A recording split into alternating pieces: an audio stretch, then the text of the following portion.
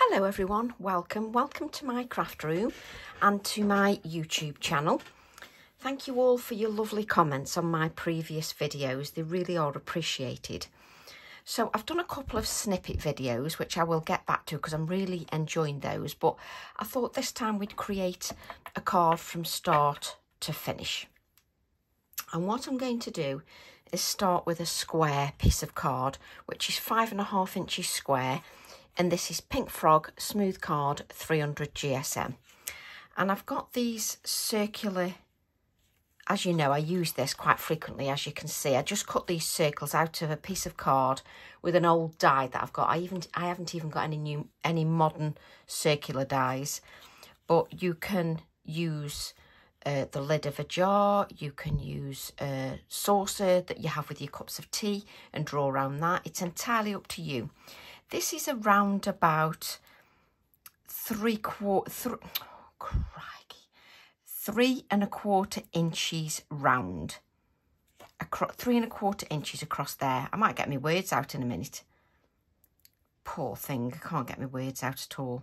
Right, and I'm going to use my grey Inktense pencil just to draw around the circle. So I'm just using my Inktense pencil haven't decided what imagery I'm going to use.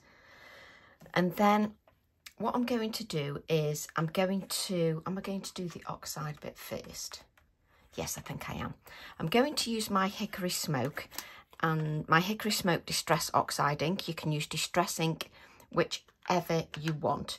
You could even use your pens. You don't have to use an, uh, an ink. You could use your pens as well. So I'm going to apply my Distress Oxide Ink Hickory Smoke to a non-stick, no it's not to a non-stick craft sheet, it's to an acrylic block just to save any cleanup. And we'll just apply the water. So this then just becomes my, my little paint palette. And what I'm going to do is just get rid of the gremlin there, pick up the grey colour. Now, I have put an Inktense pencil on here, so that will react to the moisture as well. So we're just going to blend out the Distress Oxide, just blend that out. We just take a little bit more of the ink and I'm just building up the layers just with that Distress Oxide ink. So easy to use just like you would with your watercolours or whatever and quite easy to build up the depth because all you need to do is you've got this here with your water on and to build up the depth take some of the neat colour this water brush has got no water in take some of the neat colour and then you can add that right to the edge just to bring in a darker edge just to the the circle. And my brush is slightly damp that is it. It's not dripping in water and then to just blend that out take some of the wet colour and then just blend some of that out with the tinted colour. There we go. It just gives us our circle. Now I'm going to clean this up but not my acrylic block just in case we need a little bit more of that colour and there's no point putting it away so I may as well leave that on the acrylic block. So what I'm going to do then is let's just give this a little dry. So I've got my heat gun all tangled up with my cable from my phone. Not good.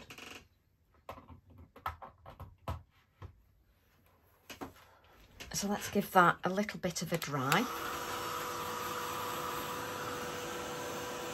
I'll just give this a dry. Now my husband is watching the football, so it's a perfect time for me to come upstairs and create a card, which is what I love to do. And when you've got moisture on your card and you've sprayed and everything, just make sure that you wipe underneath because it can be wet at times. So let's just take, I then want to take my branched heart and I want to take this like tulipesque type flower and I'm going to just start by stamping this little flower in grey. So it's from the Branched Heart TE6, which you'll find on my website. I've then got the Morning Mist VersaFine Clair, which you can also get from my website as well.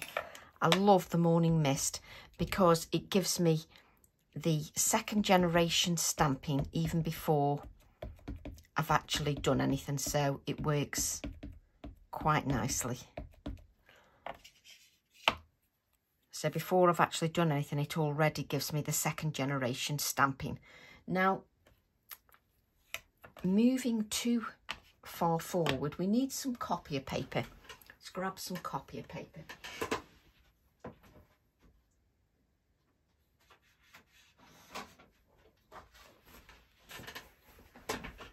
It's so easy to sort of think you can skip a few steps to make it quicker. And and there's no point because if you just want to make a nice project you just need to take your time just to follow with all the steps. And I need to create a little aperture. Not that that's perfect. Just need to create a little aperture just so that I can stamp along not that you can see it along the bottom so I've just drawn around the same circle just with pencil and I'm just going to cut on the inside of that circle.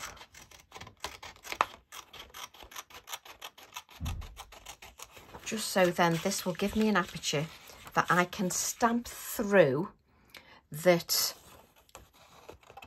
has got no depth to it. So it isn't 300 GSM card, which causes a lip a little ridge. We don't want that. So I've got that now. Look at that, some moisture on there.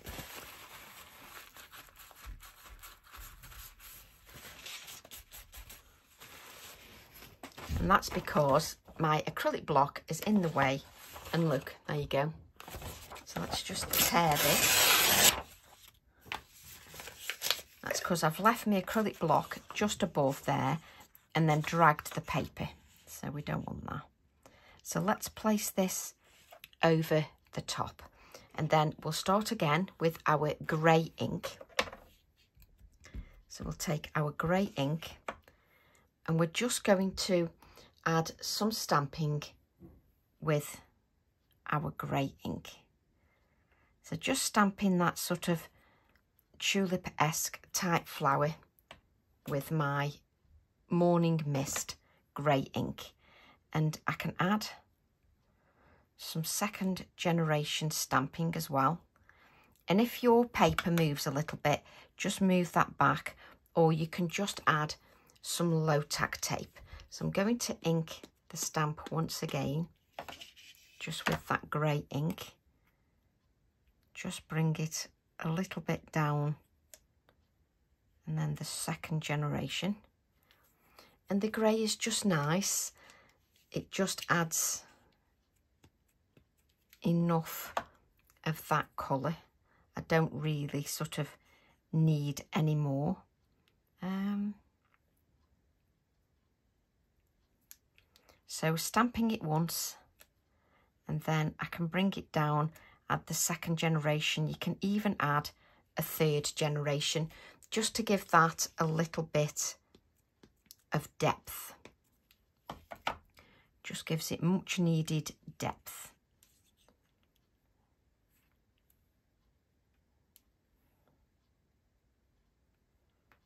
First generation, let's add the second generation there. And then we'll add another first generation, again with the grey, just bring it down a little bit.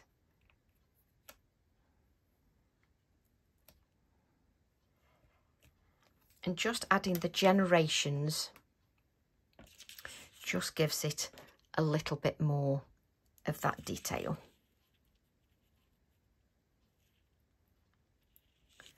So there we go. Let's bring bring this down. That's it. So we'll just leave that on the acrylic block at the moment till I decide if I'm adding any more. I'm then going to take my clematis stamp. I'm going to take the larger image. I like how everything just falls off because I've used it so much. If your stickiness goes, just wash it a little bit. You can wash it with a little bit of soapy water and it'll just, it'll have its stickiness again. So let's take a border acrylic block and just decide how I want to stamp this. Yeah, so I'm going to take that grey ink, that Morning Mist once again. So let's take the Morning Mist.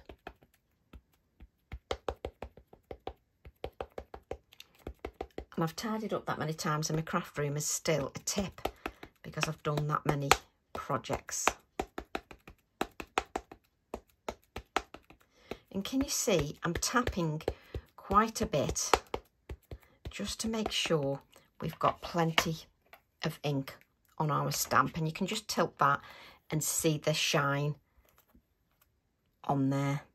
Now do I want it that way? Mm, do I want it that way? I'm going to have it that way, like so.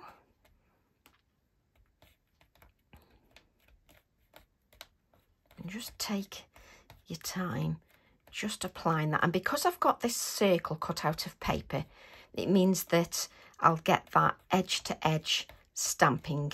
It won't miss a little bit because I've got that thickness of card. If you've got thick card and you try and stamp through, it will leave a gap because it's got that little lip and that thickness of card. So that's why it's better to cut them out of copier paper. So if we lift this up then, it then goes right to the edge of there, which is just lovely. So we'll just bring this in now. You never get it in exactly the same place as you started with. And what I'm going to do is go back. Let's just place that there. Let me just see if I want to use the little or just stick with the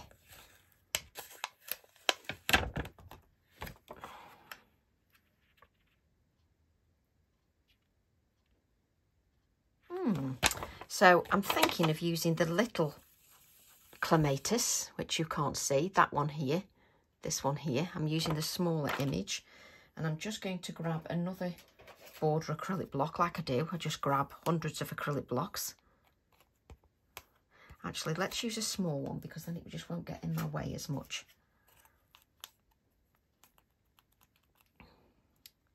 So I'm going to let me make sure I'm right at the edge.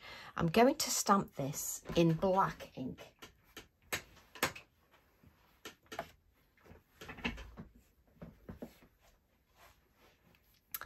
Because then it will be in the foreground and I can't decide where I'm putting all my ink pads because they're just everywhere. So I'm going to sort of ink this little bit of clematis here.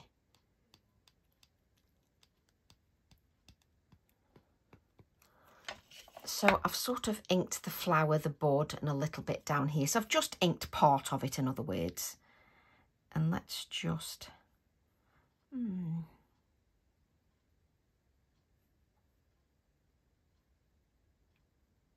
Let's just stamp a little bit there.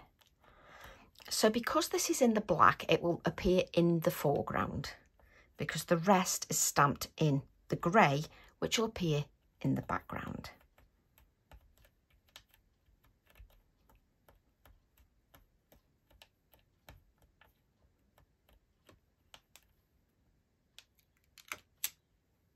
Go. So it appears more in the foreground, just so that you can see. And then I'm going to place this back around again and then I'll take the little tulip and I'll just add a couple in the black so and just you can tilt them slightly so we'll stamp one in the black. And then a second generation just there. And then we'll have one more in the black.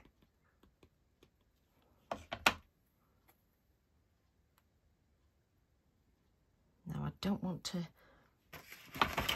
now I'm trying to scrap another scrap of paper just so that I can place that just here and then I'm just going to have that one it's just so that I don't have the black ink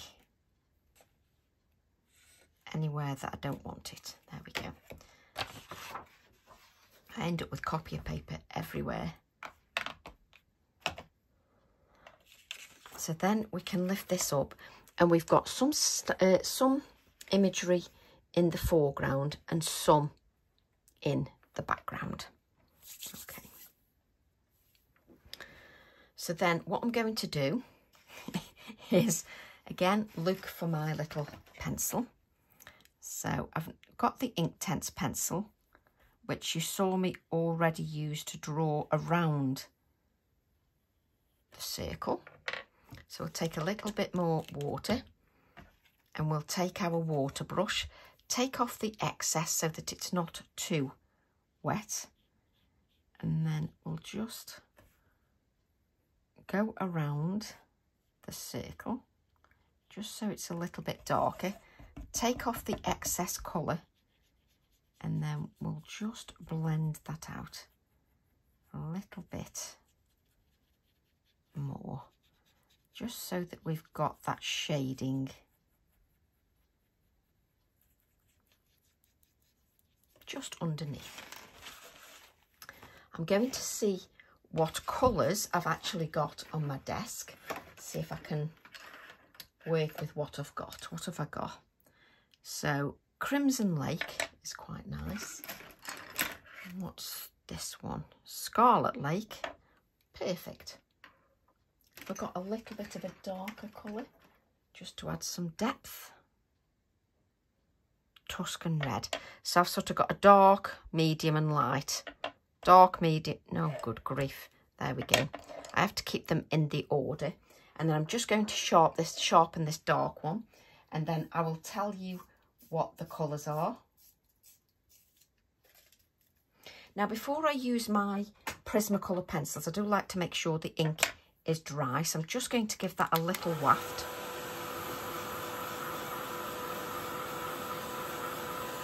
Just give that a little waft and then there's nowhere to put the heat tool because everything just falls over.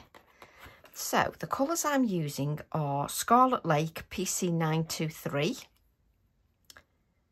Crimson Lake PC925 and Tuscan Red PC937 and these were already on my desk for, from previous projects. So I'm going to start with what appears as my darkest colour which is the Tuscan Red PC937 and I'm just going to add a little bit of that dark colour just to my project. And I'm, I'm sort of pressing on very lightly. I don't want to break the fibres down of the card too soon. I can come in and add more depth as we go along. So that's my darkest colour. Then go to the medium colour. And with the naked eye, you can't see much difference in the colours because at the moment I'm adding the colours very lightly so there's not much depth on there at the moment. So then we'll go to the lightest colour for me which is Scarlet Lake.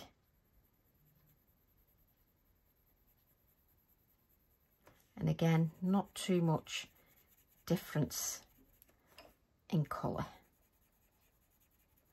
Probably have to reach for my white maybe. So then I'm going to go back to the darkest colour and I'm just going to add a little bit more depth with that darkest colour. Just to give a little bit more depth to the design. But again, I'm not pressing on so hard that I can't add other layers to that design. It's just pressing on enough, but not too much. So I'm then going to go to the medium colour, coming into that dark colour.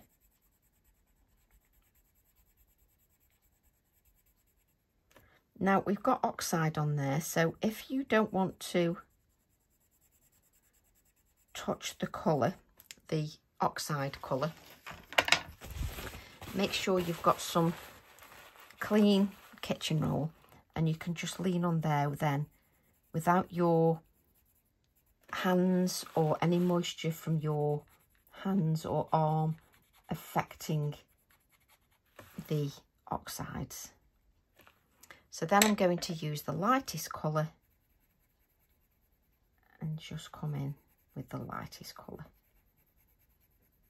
And again, I'm sort of coming into the colour before just to blend those lines. So I'm just coming into the colour before just to give that a little bit of a, a blend. And there's not much to colour so you can take you can take your time by adding the colour. So then I'm going to go back well, let me just grab my have I got my white pencil down here? Probably not. I always keep my white pencil to hand.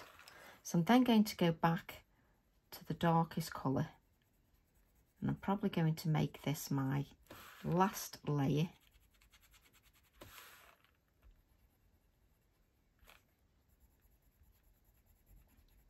just to add that darker colour. Just make it a little bit darker.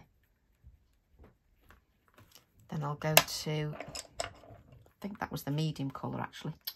So we'll just add a little bit of the dark colour because I think I picked up the medium colour by accident. So just come in with that darker colour. Does help if you're not concentrating on several things at once. Now bring in that medium colour.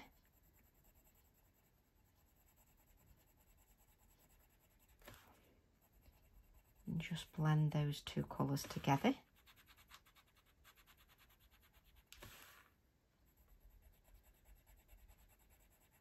Just blend those lines out. And then I'm going to come to that lightest colour again.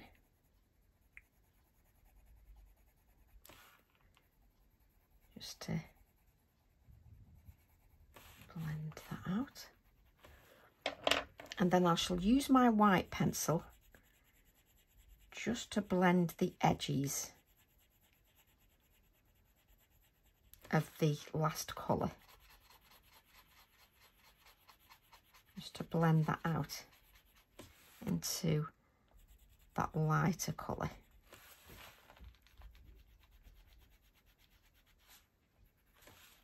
So just blending those out just to give me a nice, a nice blend. I'll then use my gel pen. And again, if you don't want to touch, you can use your copy paper to lean on. Just to add some of the white touches to your little floral just to give it those white highlights and I do like to just add a few dots of the white it just sort of lifts that and lightens it a little bit So I'm then going to go just to this floral here. So I'll just add the white touches. And then I'm going to do exactly the same. I'm just going to, now this floral is tiny. So it really doesn't take much colouring before it starts to come to life.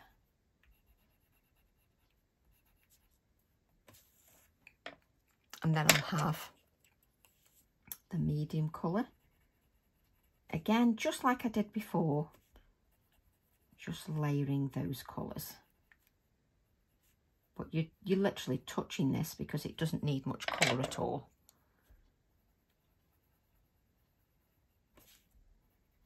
But you just want to add a little touch of the colour just so that me and you know it's there. So I'm just layering the colour as I did before.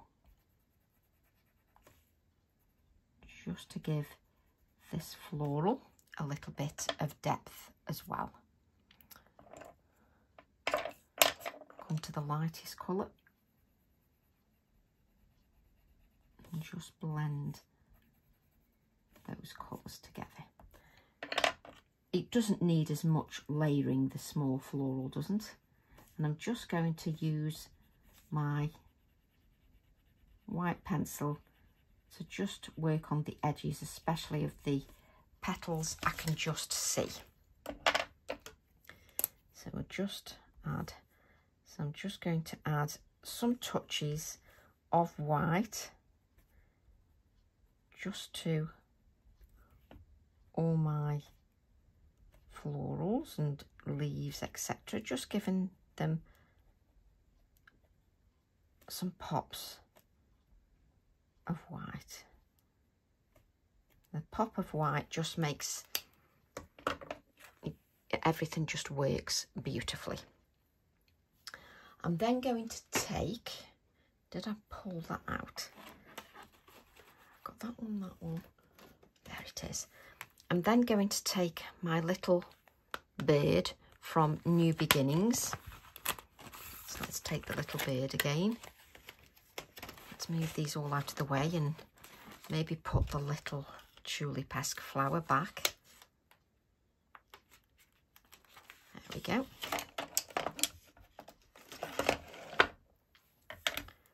And we'll just take our little bird and I just want to grab my fern stamp because I liked doing this in my snippet.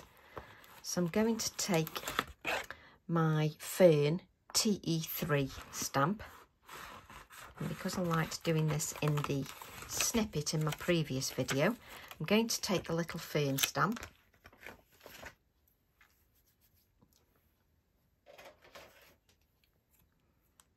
with no ink on. I'm just going to add ink to the bird and this is a VersaFine Clair that is well used. It's not one that is super juicy. You know when you first get them, don't use an ink pad that you've just first bought. Use one of those ink pads you've been using a while. And then I'm going to add a little bit of the fern just to, let's just clean that ink off. And it proves you pick a little bit of ink up. And I'm just going to add a little bit here.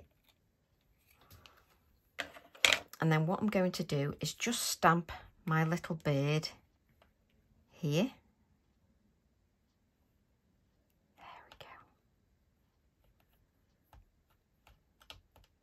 And it's just a nice size, this five and a half inch square card, it's a lovely, lovely size.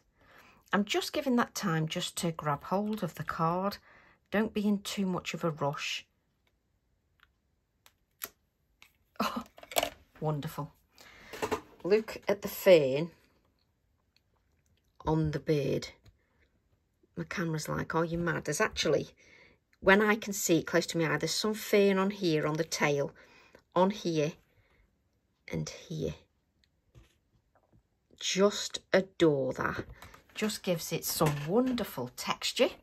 So we'll add a little bit of the Inktense pencil just to the bottom. And then we'll just let's add a little bit of water. There's hardly any water on there. But you you really don't need much water to activate. Just trying to get rid of the that's it.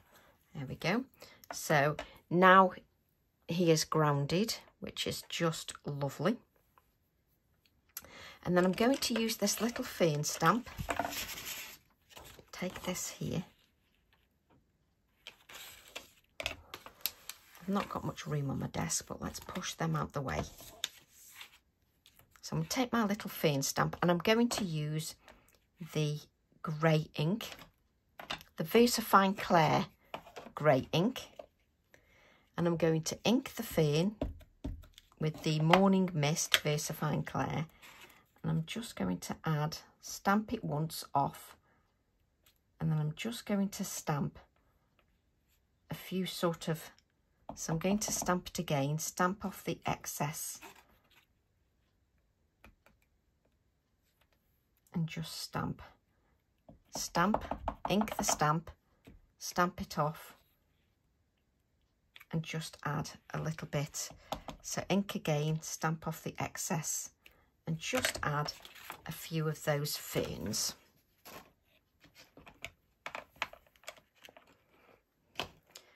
So then I'm going to just add, she says, might be easy with my Posca pen actually. Take my white Posca pen and I'm just going to add some little dots of the white Posca pen. Just, just sort of dotting that around. And then I'm going to grab, hopefully, a pen that was got these colours in. So I'm using a Posca pen. You can use a gel pen. Well, that one isn't it. I've got like a ready colour. I think that might be the one. Yeah. So I'm using my Posca pen and I've got red and dark red. Well, you couldn't get any more perfect. then I'm just going to add a few little dots of that red. Just around there. Let's see if this does make much difference with the darker red. Actually, it does. It is a little bit darker. And I'm just sort of lightly touching that on the card. Let me just place them back in. So I sort of lightly, lightly touch that onto there, not sort of too much. And then I'm just going to go back to the white just so I can add a little bit more over the top. Then we'll add a few little, do I want to add my splatters first? Do you like how I stopped then? Um, let me just think. Swatch stamp has. I think what I'll do is grab one of my text stamps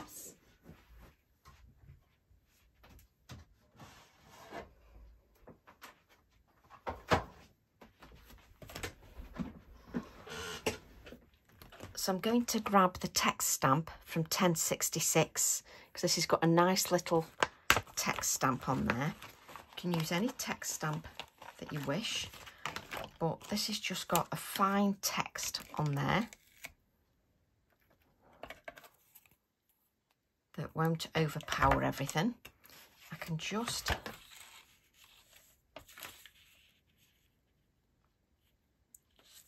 add this and then I'm going to take my Morning Mist ink once again and just stamp the text. And I'll just add, no we won't, we'll just knock the paper. So I'm just going to add a little bit of this fine text just to the background, just to give me a little bit more detail. Just move that back again.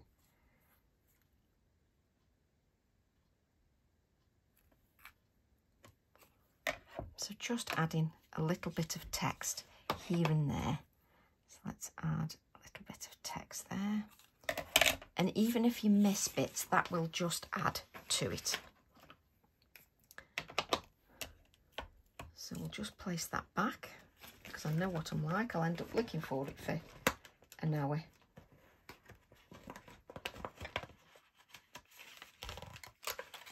Place that back into my wallet. Then I'm going to take some Posca pen and then I'm just going to flick some of that Posca pen. And then we'll, do you know that grey ink? I said, oh, we'll just place that on one side. No idea where that grey ink is now. I've probably placed something, which I have, I've placed something straight on the top of it because I'm good like that. So I'm going to take this grey ink. Just pick this up. And I'm just going to add I don't know whether there's enough oh there is some of this grey ink.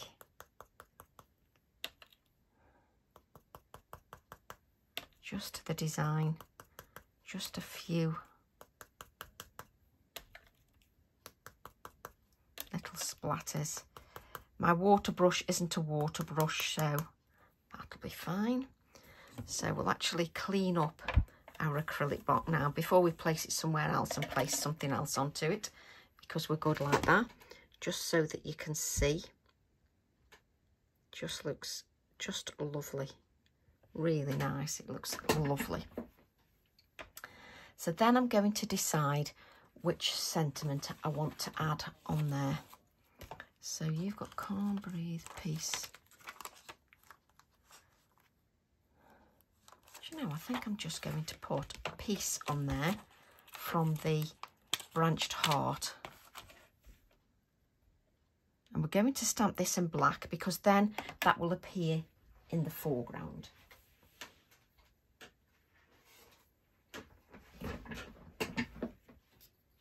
So I've got a little strip of card from cutting my card pieces up. We'll just add the word peace to there. Just enough without overpowering that design. Um, let's use these scissors.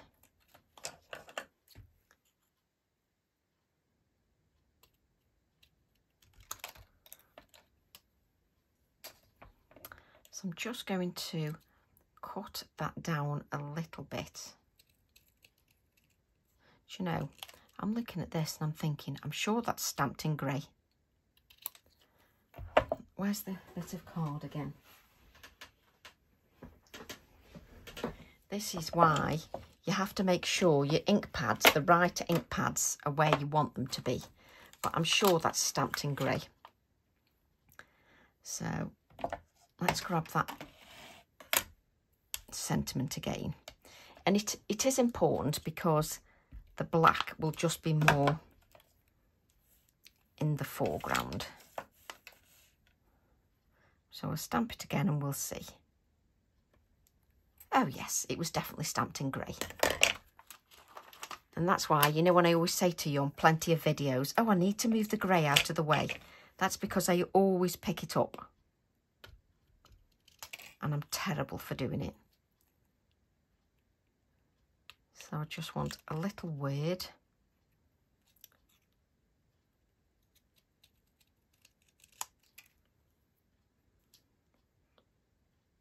I don't want it to be too dominant. So we're just going to take our Posca pen, just give to give that a little faux black mat, just sort of touching the edge with that Posca pen, that black Posca pen. Let's just clean that up. And then I've now got a sort of a little bit of wording that isn't going to detract too much from my design. And I'm just going to add this. You can add it here. So just think what you want. I can add it there and it works quite nicely. But if I add it here it balances with the bird so I'm going to have it there. Let's just let's get this glue going again.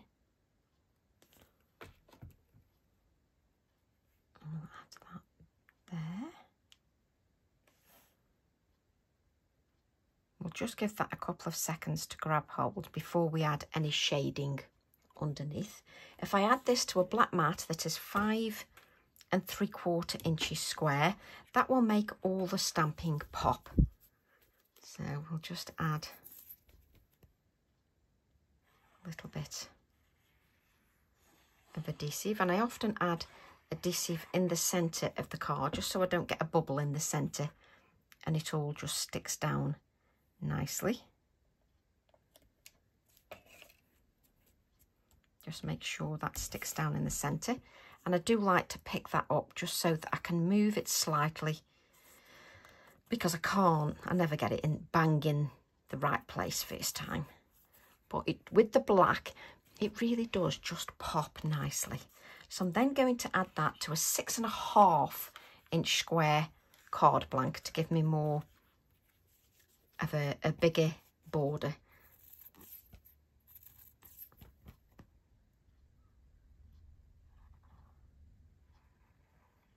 Think my adhesive is running out, but I refuse to bin that until I make sure it is run out. Let's make sure our card is facing the right way. Let's just add that. There we go.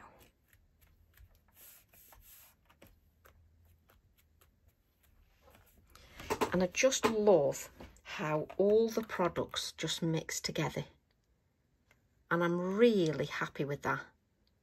Really do. I love that. I love creating that just for 40 minutes.